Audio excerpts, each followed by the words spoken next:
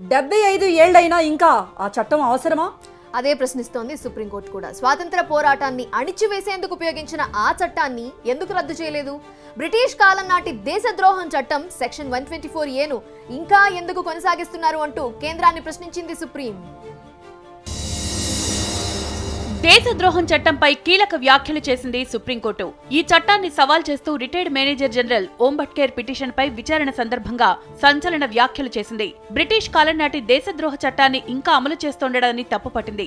స్వాతంత్ర్యం వచ్చి డెబ్బై ఐదేళ్ళైనా ఇంకా ఆ చట్టం అవసరమా అని కేంద్రాన్ని ప్రశ్నించింది. ఇది స్వాతంత్ర సమరయోధులకు వ్యతిరేకంగా చేసిన చట్టమని వన్ ట్వంటీ ఫోర్ ఏ చట్టం రద్దు దిశగా కేంద్రం ఆలోచన చేయాలని పేర్కొంది. స్వాతంత్ర్య పోరాటాన్ని అణిచివేసేందుకు బ్రిటిషర్లు ఫ్రీడమ్ ఫైటర్స్ పై దేశద్రోహ చట్టాన్ని వాడినట్లు తెలిపింది సుప్రీం. మహాత్మా గాంధీ బాలగంగాధర్ తిలక్ లాంటి వారిపై ఆ చట్టం కింద కేసులు పెట్టారని వెల్లడించింది. కేంద్ర ప్రభుత్వం ఇప్పటికే ఎన్నో చట్టాలు సెక్షన్లు రద్దు చేసిందని అలాంటిది సెక్షన్ వన్ ట్వంటీ ఫోర్ ఏను ఎందుకు రద్దు చేయలేదని ప్రశ్నించారు chief justice N V Ramana. రాజద్రోహం కింద పెడుతున్న కేసులు ఎన్నని ప్రశ్నించారు.